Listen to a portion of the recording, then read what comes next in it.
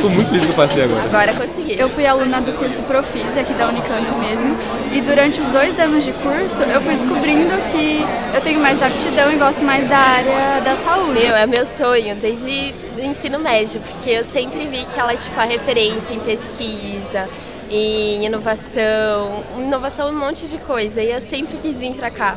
Aí agora deu certo. A Unicamp é uma faculdade incrível, ela é grande, abrange, tem todas as áreas possíveis e a medicina dela é forte.